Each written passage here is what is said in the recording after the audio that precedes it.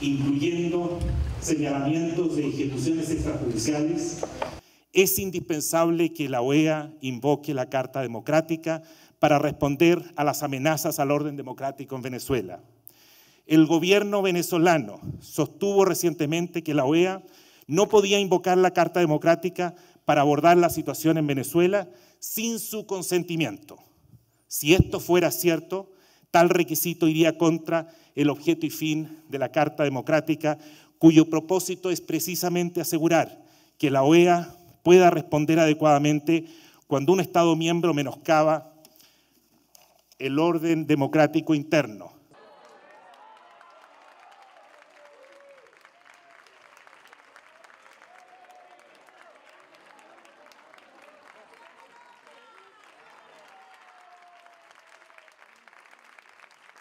a él, no. Se ha metido con su familia, con su esposa y con su hija de dos años y medio. Nacional Henry Ramos Salud dijo que no le sorprendería si el gobierno planteara...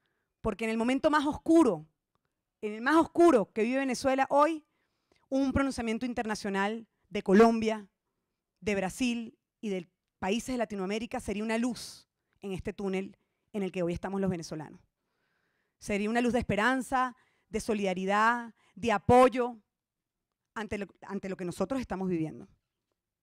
Y quiero decir que cuando los países están en la peor crisis de su historia, los países nunca han salido solos de esa crisis. Siempre han salido con ayuda de la comunidad internacional. Siempre. En la historia lo hemos visto, siempre. Nosotros hoy le pedimos ayuda a nuestros vecinos.